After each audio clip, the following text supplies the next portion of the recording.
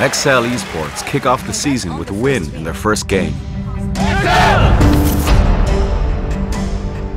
The teams that I think that could challenge for top three are actually a team like Excel.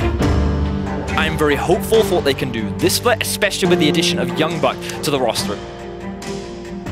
There is ability, and the possibility is there, but they do have to rise to the occasion. This man in the jungle, Caedrel, the guy was very impactful last split. We had our eyes on him. Feel really good. I think we're gonna do really good things this year. I'm feeling top six. I'm feeling top five.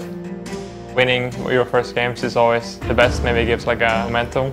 It's a nice change to win some games for Excel. All kind of mixture of uh, vitamins and we're ready to roll. That's a victory mix. Confidence is riding high for the players, but their next match will be a much bigger challenge. Our second match is against Rogue. I cannot think of them as an easy opponent. Tonight is a harder match. I think Rogue are stronger than Schalke. I was thinking if they pick Braum, we take Orkan. But maybe we just do the same strategy.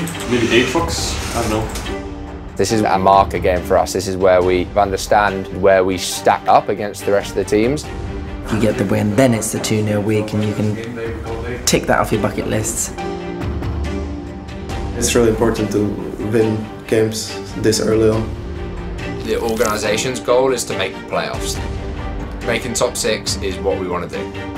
There's always that kind of feeling, is this our split? Is this the one where we really take the league by storm?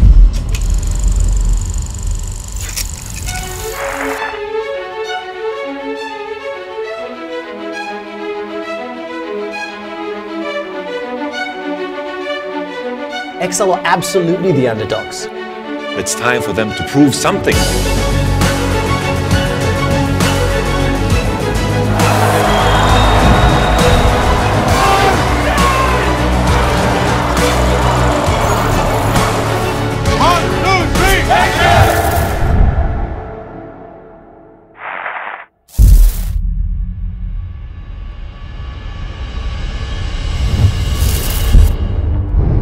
Versus Excel Esports, which might be the closest matchup of the day after what we saw on day one. And now one of them will start the new year undefeated.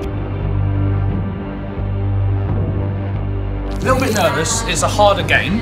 Got all the investors here today. We've got to look good for them. This is the main investor, the guy who is the reason we're here, so looking after him. And hopefully we can get a win to make them feel even better the people higher up in the organisation, all they're going to see is playoffs or not. That's why I'm